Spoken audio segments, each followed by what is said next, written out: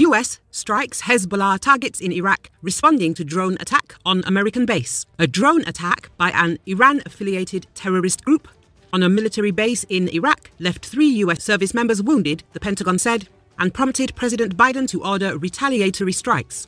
The attack on the Erbil airbase in northern Iraq was conducted by Kataib Hezbollah militants, Defense Secretary Lloyd Austin said in a statement. One of the three service members wounded is in critical condition, Austin disclosed. It should be noted that on the morning of December the 25th in northern Iraq, US military personnel were attacked by a one way drone.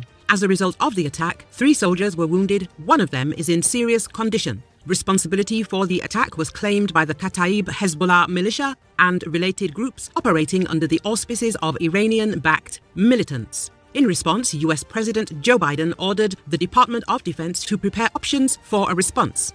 Those options were then presented to the president during a call this afternoon with Secretary of Defense Austin and members of the president's national security team. During the call, the president directed strikes against three locations utilized by Kataib Hezbollah and affiliated groups focused specifically on unmanned aerial drone activities, the White House says. There have been dozens of attacks by Iranian backed militias targeting U.S. forces in Iraq and Syria, since the violent October the 7th terrorist assault on Israel by Hamas, a group that US officials have long said receives financial and material support from Iran.